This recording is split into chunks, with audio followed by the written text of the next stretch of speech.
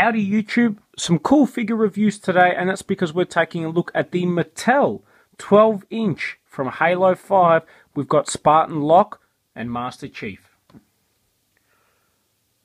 Two figures which I never knew existed. I've actually had these for quite a while, received these as a uh, very generous Christmas present from uh, a very close friend of mine, so shout out to Jaron.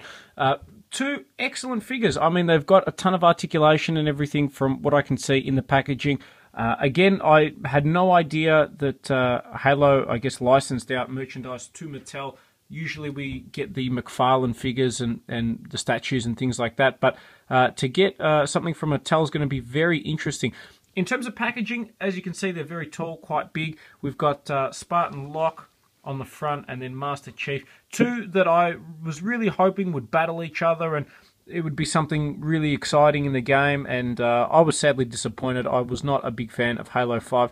For some reason, I just couldn't get into it. I don't know if it's because I've outgrown Halo or because the game just wasn't good. Uh, I don't know. I. I'm a little disappointed. Halo was one of my favorite franchises of all time. Certainly, the original trilogy is uh, incredible and amazing. And uh, from there, I think it just sort of went downhill a little bit. Halo 4 wasn't bad, uh, but Halo 5, I don't know, the story with Cortana and the Warden Eternal, the Warden Eternal could have been just one of the best video game villains of all time. And uh, to me, that was a bit of a letdown. But anyway, let's get these guys opened up. And just a quick look at the back of the packaging. Two great shots of the characters. Now, sadly, these are not the actual figures, but uh, some screens from the video game. Still, Spartan Locke, one of the things I loved was the suit. I think the armored suit looks brilliant. Master Chief as well, you know, it's classic, that retro look. Um, my favorite Master Chief ever is the one that never appears in the game, and that's the um, debut McFarlane figure that has got the big cape and everything like that. The evil Master Chief, which uh, never eventuated. But uh, yeah, two cool looking figures. Let's get them opened up. Okay, and here we've got Locke and Master Chief opened up and out of packaging. These are probably two of my favourite Halo-based merchandise things uh, that I've picked up. Uh, or gotten, I should say. Uh, certainly, uh, it's not as detailed as the smaller McFarlane figures or even the McFarlane statue, which is uh, pretty cool. Make sure you check out my review on that. That's well worth picking up. But they are a lot more articulated, which is certainly really good. I assume just based on the cheaper feel and um, level of detail on these that they would be uh, reasonably priced as well. But again, I don't know exactly how much they are. I'll bring it forward so you guys can take a look at Master Chief. I think they really did a good job with Chief. Certainly looks like uh, he does.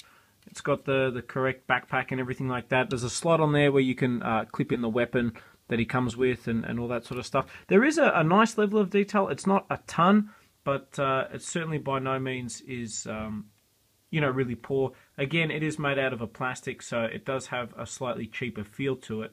But having said that, it is still really nice. I love the detail on the assault rifle. That's one of my favorite guns in any video game ever. The the sound of that, uh, there's just something really cool about it. My favorite is in Halo Reach. The you know, whatever, I think it's like a Navy variant um, of the assault rifle, just sounds so good. Uh, it's, it's one of the best sounding guns uh, of all time, at least in my view. So yeah, that, that's Master Chief. He's, he's pretty cool.